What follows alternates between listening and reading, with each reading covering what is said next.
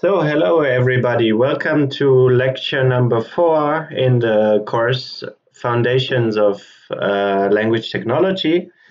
My name is Steffen Eger. And um, if you want to prepare something for this week, then you can prepare uh, the basic uh, concepts and definitions from the last lecture. Also, check the example solutions of the practice class go ahead, read chapters 4 to 4.6 in the NLTK book. And of course, you should make very sure that you have a solid understanding of the basic Python, uh, of the Python basics that, that we have learned so far.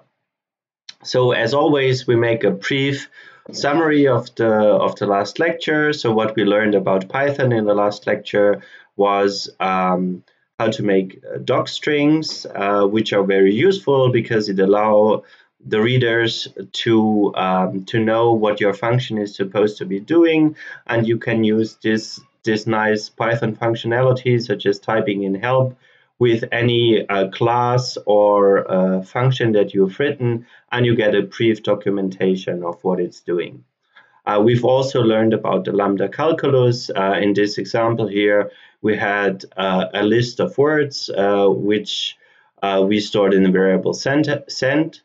Uh, we had two functions. The first function um, took another function. So it's a function that takes a function as your argument, then returns um, returns this function applied to each element in this in the sequence. So here we have the um, the sequence not given as an argument, but like uh, using the sequence as a uh, as a global variable, and we can sometimes do this in Python.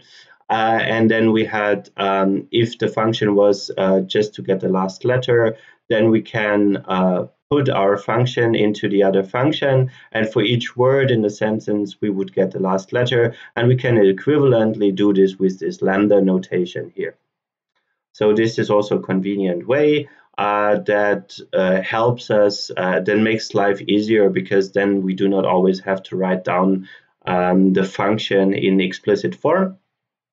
We have learned how to sort uh, to sort like uh, sequences, for example, uh, a, a, sequence of words. Um, we've seen that we can apply the sort function. There's also a built-in Python structure sorted, and how to do sorting in Python that changes every now and then. So uh, that changes from Python 2 to Python 3.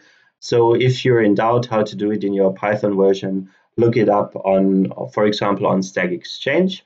We have seen how to use different types of sequences such as strings, lists, and tuples and what their differences are. Uh, we've also seen the very important data structure of a dictionary, which allows to map uh, between arbitrary types. So in this example here, we have um, a dictionary which we call POS, which stands for part of speech. Uh, and then we can we can assign to the POS dictionary that the word colorless is an adjective, that the the word ideas is a noun, the word sleep is a verb, etc. So this is a very convenient data structure that uh, that you may want to use uh, very frequently in Python. So that's it for the recap. Now we start with uh, this lecture.